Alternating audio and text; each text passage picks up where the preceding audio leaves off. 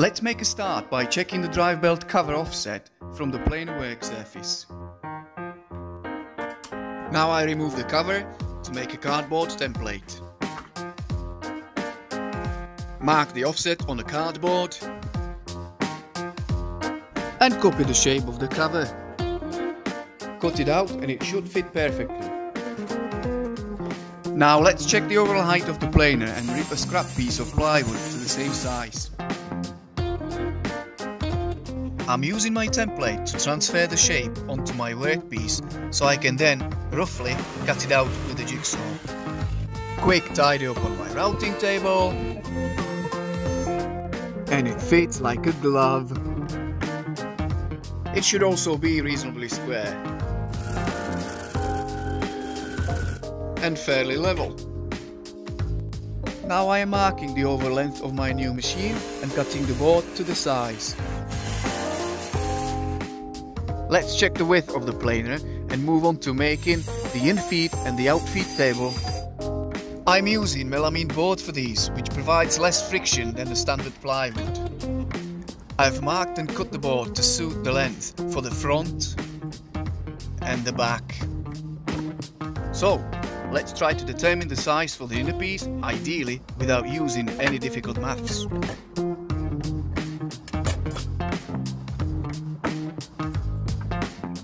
Well, I think it worked alright. What do you reckon? Measure the height of the table, about half that, and that should be good enough for my fixing holes. So let's drill them out, using the Forstner bit first, so I can then press in some threaded inserts.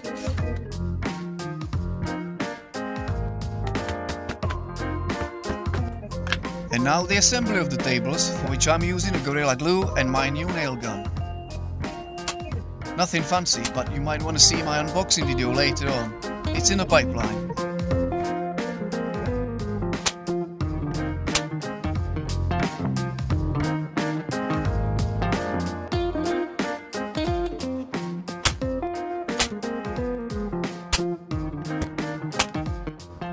So that's my infeed table done. But is it square? Yes it is. Moving the infeed table to the side, I can now start working on my outfeed table using the same methods.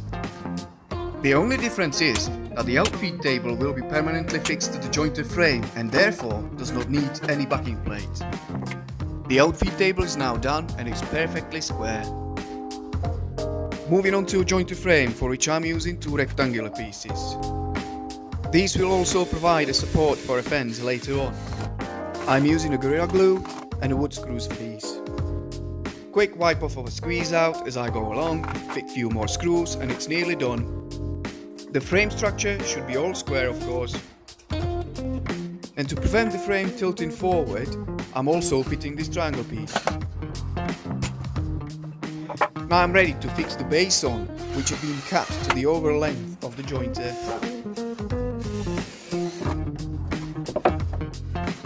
Checking the squareness again, and also if the planer sits in the frame level along its length and across.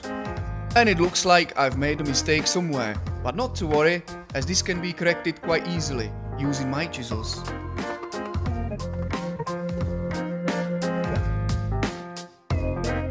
No sweat or tears, and it is now level.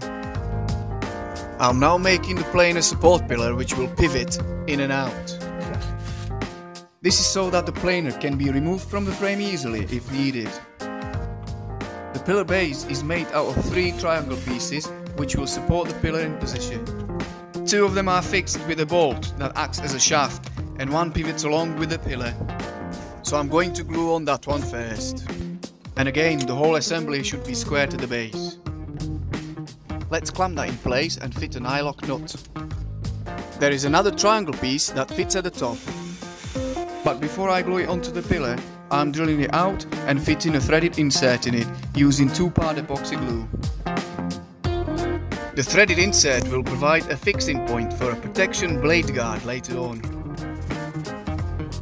So now it can be glued onto the pillar. To locate my fixing hole precisely, I'm using a screw with one end filed into a sharp point. I screw it into the hole normally used for attaching the side fence Then I offer my support pillar into position and press it on. This will mark my fixing hole on the dot. Let's drill it out then and see where we are.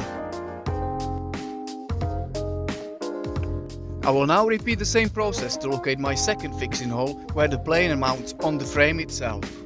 Press the planer against the frame and there we have it. So I can now mount the planer in using two screws and check if the planer is level again. Let's fix the support pillar into place next, using my good old Gorilla Glue and two clamps.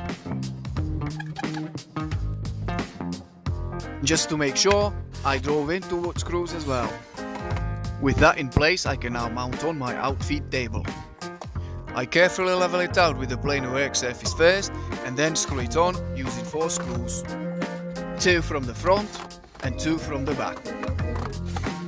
Now I set the planer depth of cut to 0.5mm since this is what I use the most. Align my infeed table with the planer and mark for the slots which I then cut out so that the infeed table can move up and down with the depth of cut set on the planer. The table is going to be mounted on using two knobs which is what I'm making next. I'm using a scrap piece of plywood for these and a very sophisticated compass to achieve the perfect round shape. I shape the pieces on my disc sander, smooth it out with a sheet sander, I mark the centers and I drill them out.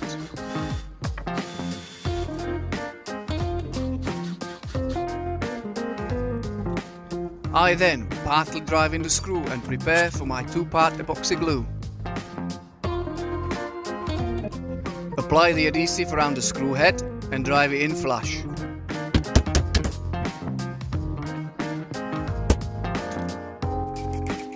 And once I've got four of these done, I can mount the infeed table onto the frame.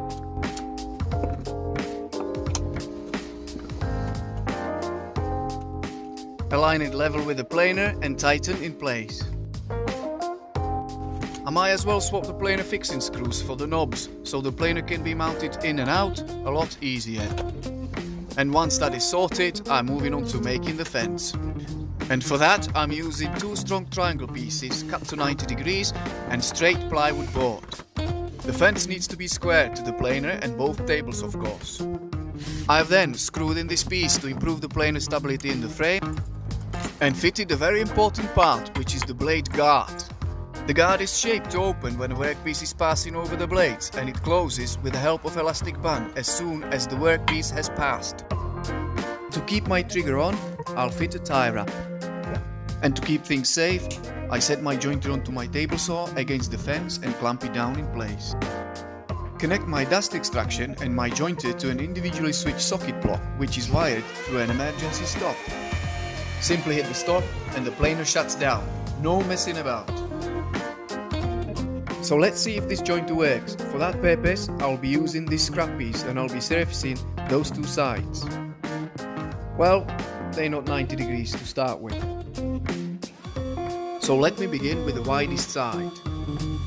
The planer is set 1.5mm cutting depth. Few passes and it's definitely getting flat. Let's do a few more then.